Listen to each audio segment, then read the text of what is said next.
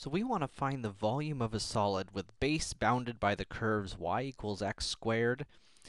And let's go ahead and take a look at these as we're doing it. So y equals x squared and 8 minus x squared.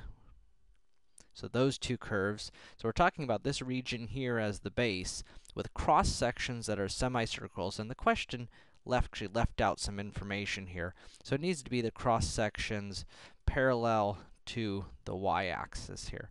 So really, we're going to be talking about cross sections this way. And if we slice the curve this way, that cross section is going to be a semicircle. So a little semicircle, a little bit of thickness. Now, because I'm not drawing this particularly well here, let me pop up a better picture of this for us. So here we go. Here is that same region we're talking about. Here's a slice, and here's the 3D look. There is that semicircular slice parallel to the y-axis above that shape. And you'll notice we can drag where we're slicing, and we get different semicircles depending upon where we slice, because the base of the semicircle uh, is based on the height here, the difference between the two functions. Now, if we take all those solids together, or sorry, all those slices together, then we get the actual shape we're talking about, which is this sort of funny uh, looking shape here, right? And again, the idea there is we're getting the semicircular shape for each slice. So now let's go back and see if we can set this up. So, this side we saw what corresponded to the difference between these functions here. So given any x value, we can find the y value here, because that's from this curve, so this y value is x squared. This y value is 8 minus x squared, and so the difference between them, this distance here, will be 8 minus x squared minus x squared, right? The difference between the functions. So 8 minus 2x squared.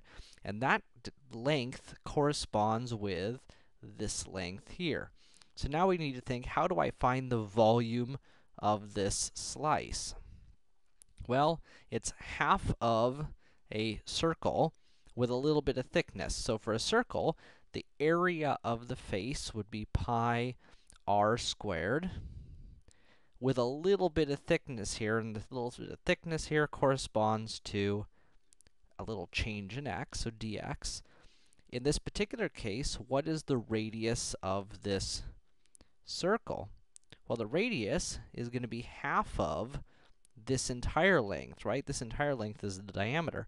So the radius is going to be half of this 8 minus 2x quantity, or in other words, it's going to be 4 minus x squared. So we got 1 half pi times 4 minus x squared squared, right? Because that's r squared squared. And there's the volume for one slice. The total volume then will be the integral of that from this intersection to this intersection. So technically, we need to figure out where these two curves cross. So let's do that real quick. So we've got x squared equals 4, so x equals plus or minus 2. So these intersections occur at negative 2 and 2. So we're integrating from negative 2 to 2, 1 half pi r squared, sorry, forgot my squared there, uh, 4 minus x squared squared dx there's the volume of that solid that we saw here.